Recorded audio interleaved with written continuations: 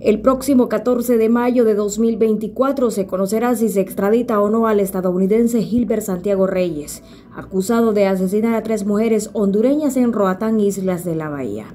Actualmente se encuentra detenido en República Dominicana, donde fue capturado el 29 de marzo de 2024 por tener una alerta migratoria. El sospechoso fue capturado por la Policía Internacional cuando pretendía viajar de República Dominicana hacia Estados Unidos. Gilbert Santiago Reyes es solicitado por la justicia hondureña, acusado por el asesinato de Dionis Solórzano, Nikendra McCoy y María Antonia Cruz, hechos ocurridos en la isla de Roatán el 9 de enero de este año.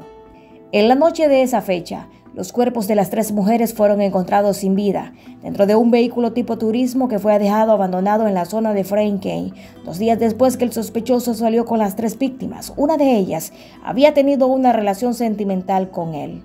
El 8 de enero, Gilbert Santiago Reyes salió del aeropuerto de Roatán hacia Estados Unidos, cuando todavía no se sospechaba de las muertes de las tres mujeres.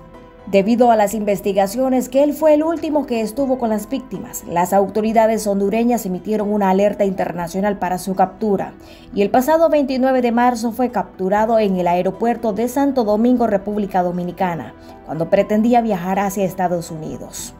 Honduras ahora espera su extradición para ser juzgado por el delito de asesinato. El 14 de mayo será la audiencia donde todas las partes involucradas harán sus alegatos y conclusiones. Ese día se decide la extradición de esta persona para ser puesta a la mano de la justicia hondureña, informó Joel Zelaya, fiscal general de la República de Honduras, durante una visita a la isla de Roatán. Toda persona que cometa delitos, sea extranjero o hondureño, tiene que pagar porque la aplicación de la ley es algo divino, recordó Zelaya a periodistas locales.